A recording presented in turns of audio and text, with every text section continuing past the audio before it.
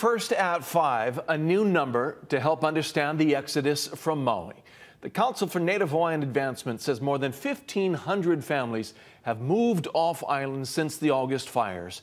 Mahealani Richardson joins us tonight with a deep level of concern. Mahia? Hokiahi Mayor Richard Bissen says 5,400 families were displaced by the fires and more than a quarter have left Maui. The county has been working with nonprofits like the Council for Native Hawaiian Advancement, and both say they're working hard to keep Maui families on island. But for many, it's been too difficult or expensive to stay there.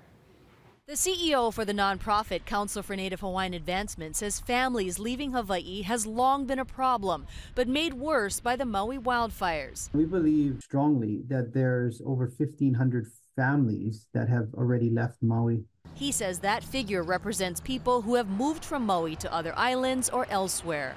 In this moment, we are still in a crisis. We're still in an emergency. We need to get people housed so they can find stability, so they can return to some degree of normalcy. We don't know if that's permanent or temporary. We know they've relocated.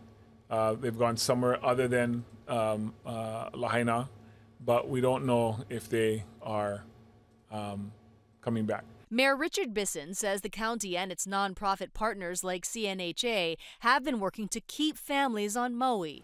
He says because of new tax incentives, there's been 1,560 conversions from short term to long term rentals. CNHA says it's housing 700 displaced survivors and hopes to have 34 units built by March or April. And it's costing us around $72,000 a day to house them. So it's not cheap.